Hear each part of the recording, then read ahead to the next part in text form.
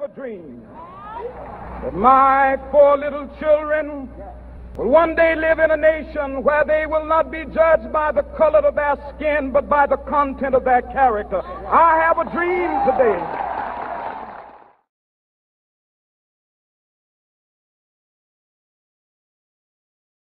I remember a teacher that I had.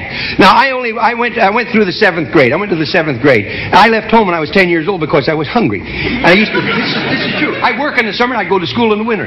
But I had this one teacher. He was the principal of the Harrison School in Vincennes, Indiana. To me, this was the greatest teacher, a real sage of, of my time. Anyhow, he had such wisdom. And we were all reciting the Pledge of Allegiance one day. And he walked over, this little old teacher, Mr. Laswell was his name. Mr. Laswell. And he says, uh, he says, I've been listening to you boys and girls recite the Pledge of Allegiance all semester. And it seems as though it's becoming monotonous to you. If I may, May I recite it and try to explain to you the meaning of each word? I, me, an individual, a committee of one, pledge, dedicate all of my worldly goods to give without self pity, allegiance, my love and my devotion to the flag our standard, Old Glory, a symbol of freedom. Wherever she waves, there's respect. Because your loyalty has given her a dignity that shouts, freedom is everybody's job. United. That means that we have all come together. States, individual communities that have united into 48 great states. 48 individual communities with pride and dignity and purpose. All divided with imaginary boundaries, yet united to a common purpose. And that's love for country. And to the Republic. Republic.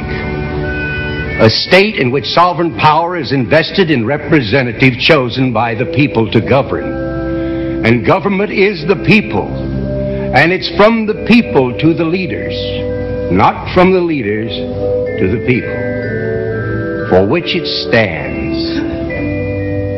One nation, one nation, meaning so blessed by God, indivisible, incapable of being divided, with liberty, which is freedom, the right of power to live one's own life without threats, fear, or some sort of retaliation. And justice, the principle or qualities of dealing fairly with others. For all. For all.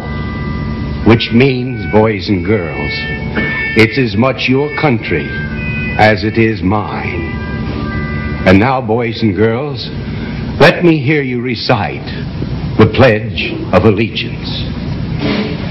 I pledge allegiance to the flag of the United States of America and to the republic for which it stands, one nation, indivisible, with liberty and justice for all.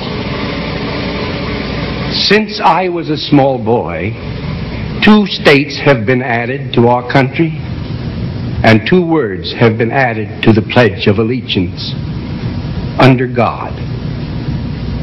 Wouldn't it be a pity if someone said that is a prayer and that would be eliminated from schools too?